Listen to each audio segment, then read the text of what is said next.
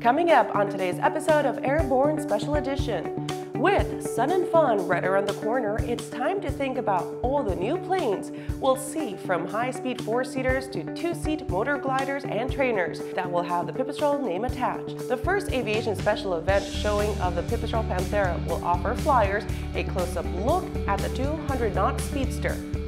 Welcome to the special edition of Airborne. I'm your host, Kimberly Kay.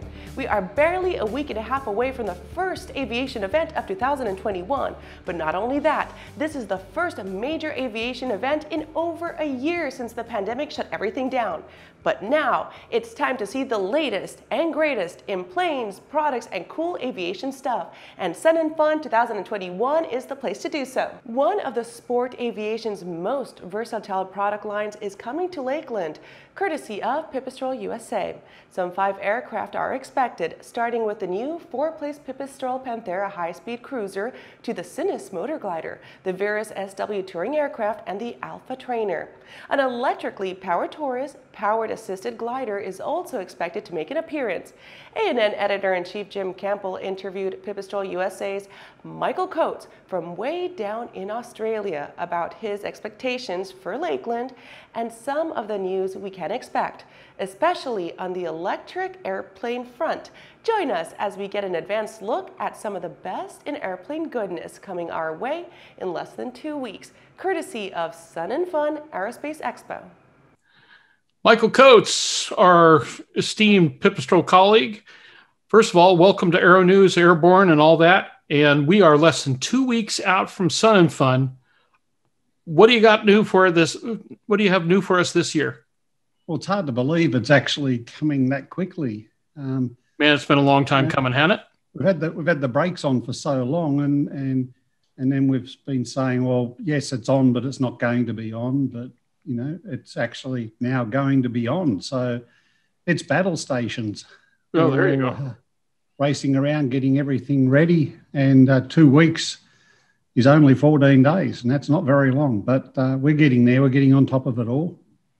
So, what's new for this year? What's what's primary from Pipistrel? Well, we were we brought the Panthera, the first one, into the US last year, which was going to be debuted at Oshkosh, but of course that didn't happen. So the first US public showing of the Panthera um, is going to be um, at this year's Sun and Fun. So that's um, that's really exciting to uh, to have that.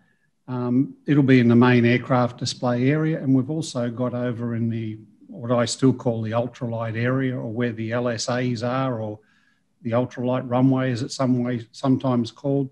We're going to have a Sinus, a Virus SW, a Pipistrel Alpha trainer, and I believe a fourth aircraft okay. on display this year. So, you know, we're gearing up for five aircraft on display. After the break, Mike and Jim chat about the features of the rest of the Pipistrel line and some of the unique features each possesses.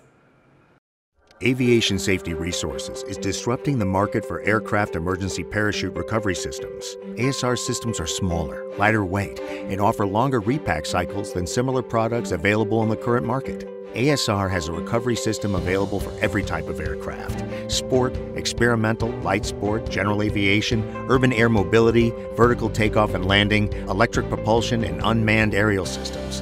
Find the right product for your aircraft at aviationsafetyresources.com. There's a difference between charting a steady course and pushing for the ceiling. And for nearly a century, Hartzell Propeller has been defining that difference. It's in our passion for engineering and research and our dedication to testing the limits of performance. We are built on honor. We are Hartzell Propeller. When adventure is calling, the Borey by AeroVolga is the plane you need to answer the call. Borey's composite design is simple, reliable, and economical, with impressive performance and no gimmicks. Designed for the wilderness and proven durability in a flight around the Arctic Circle, the Borey has what it takes to handle your next adventure featuring two large cargo compartments, a comfortable modern cockpit, and a Rotax 912 power plant. The Borey Amphibian is now available in Canada. Experience the Borey for yourself at flightsimple.com. Welcome back. Mike and Jim discuss more about Panthera, Sinus, Virus, Taurus, and the Alpha Trainer. let's quickly summarize what each of these aircraft are for those who have been sitting in a cave in Botswana somewhere and really don't understand what each aircraft does because the Pipistrel line covers quite a bit of ground. So start with Panthera, work your way down. Tell us what each of these airplanes is and does. Well, the Panthera is our flagship model, for want of no better word. It's a four seat aircraft.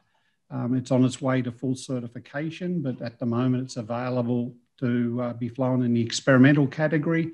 Um, there's already three in the US with a couple more on the water now. So, um, you know, they're on their way out of the factory. They're being very well received. It's a four seat aircraft that I know you're familiar with because you've done a, a, mini flight test in it.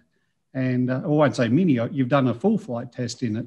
But um, yeah, it's a, it's a very, very nice aircraft and it's receiving a lot of um, justified attention. And um, the orders are slowly uh, coming in from customers, which is very pleasing to see at this difficult um, global financially stressed time. People are out there are still looking for opportunities to uh, to live their life, mm-hmm. and um, also because it's a fast aircraft at around 200 knots, you can actually fly.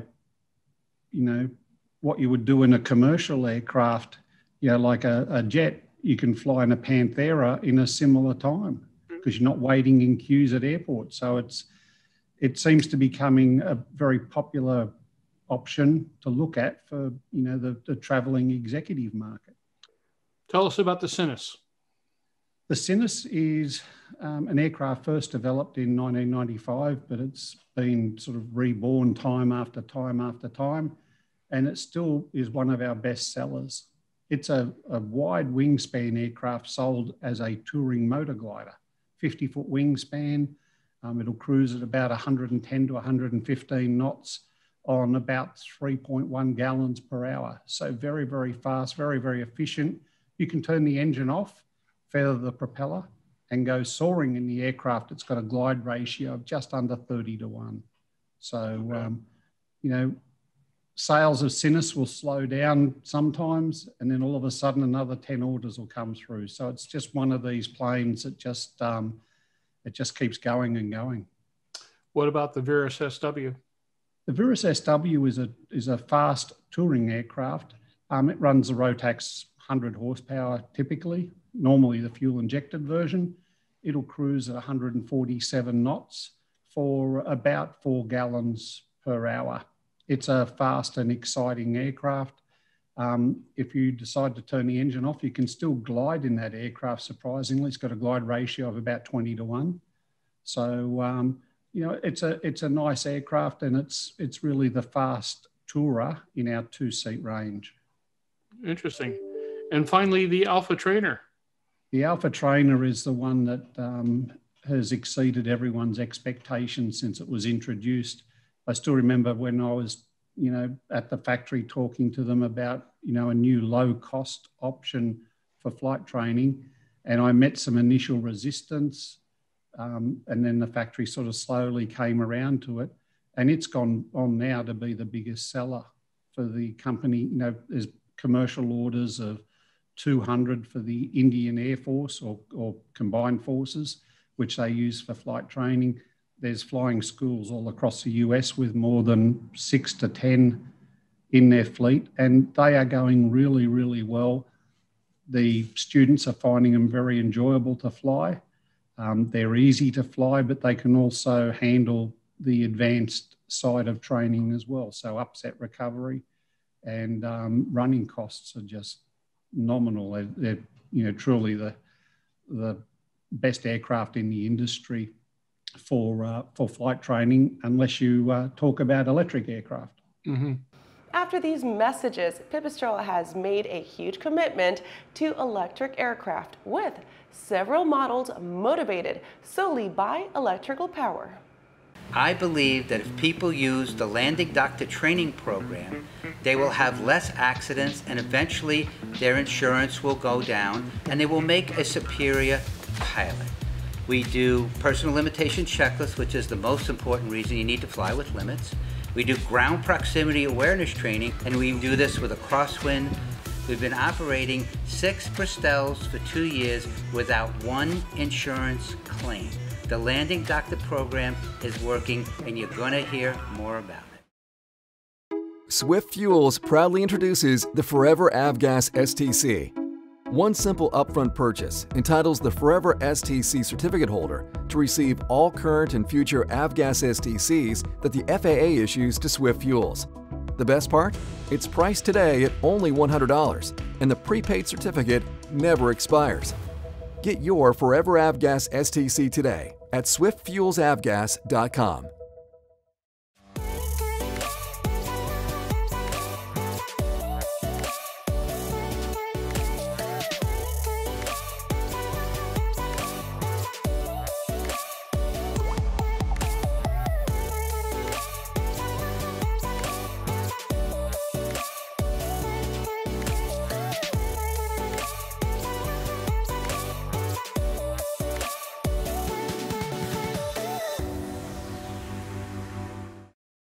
Welcome back. Jim finishes his interview with Mike and talks a bit more about Pipistrel's offering in the electric aircraft arena and the upcoming U.S. debut of the all-electric Pipistrel Velis. An electric aircraft is an area where Pipistrel has really made some strides.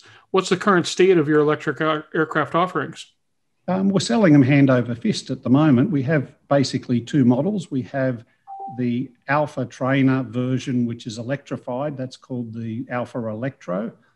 And um, we're finding very, very good acceptance and rollout of those, even though electric aircraft can't be used for training in the US at the moment because of a, uh, a definition rule, but that's in the process of being changed.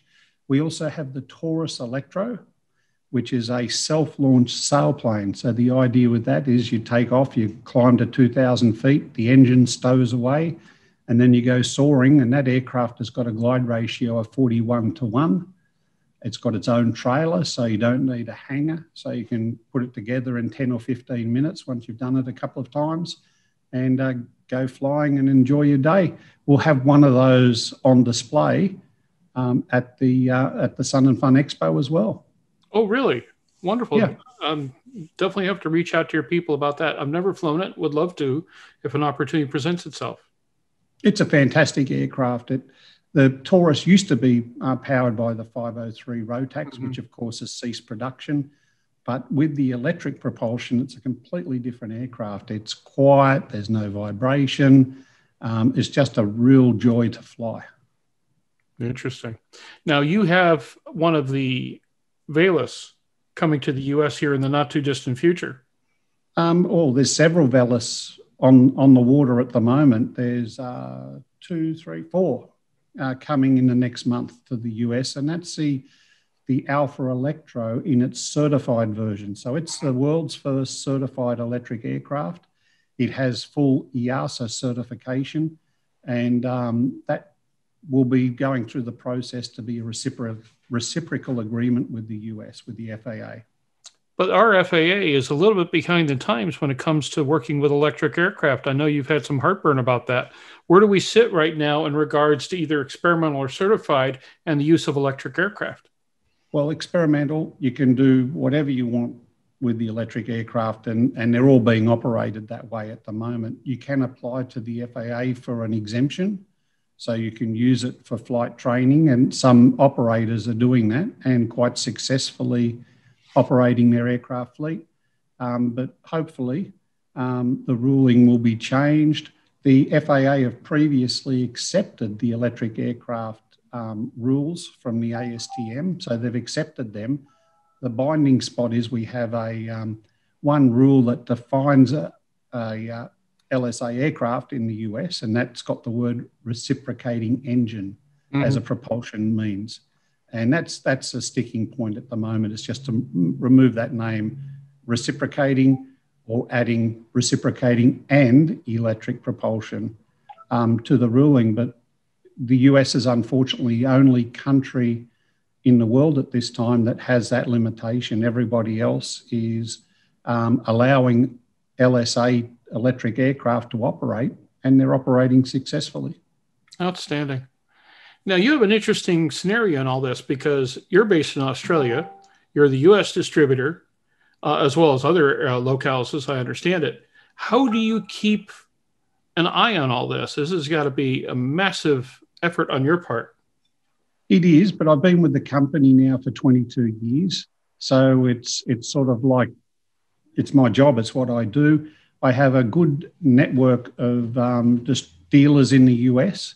So I look after them in an umbrella type operation, and they're doing the day to day, and I'm doing the liaison um, with the factory. Or if any problems happen, I, I sort those out. Shipping problems, maintenance problems. I look after all of that because of my strong relationship with the factory.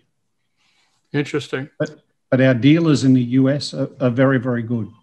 They uh, you know they attend training at least once every two years at the factory. Mm-hmm. Uh, even though we didn't have it last year and this year because of COVID, of course. But um, you know, our dealer network is very, very strong and supportive, and uh, customers are, are, generally very, very happy. Outstanding. All righty. Well, Michael, I can't thank you enough for spending a little bit of time with, with uh, Aero TV, Airborne, Aero News, and all of the arrows that are here. Uh, we've always enjoyed uh, greatly the opportunity to work with you in your aircraft, and our flight in Panthera several months ago was one of the highlights of the year. Had a lot of fun, and the best part was it did what it said it would do. You know, you, you heard, yeah, you heard the naysayers. It'll never do 200 knots, and there I am at 200 knots all day long. You know, it was neat little airplane. Pipistrel are always really honest with their advertising. There's no fluffery in there. And um, a long time ago, you know, 15 years ago, we had a we had a thing, a program for about five years that said, if this aircraft doesn't do what's in the sale documents, we'll buy it back. Mm-hmm. We never had to buy a, never brought an aeroplane back, and that built our reputation for um, for honest performance figures, and that's important to get market confidence. Outstanding.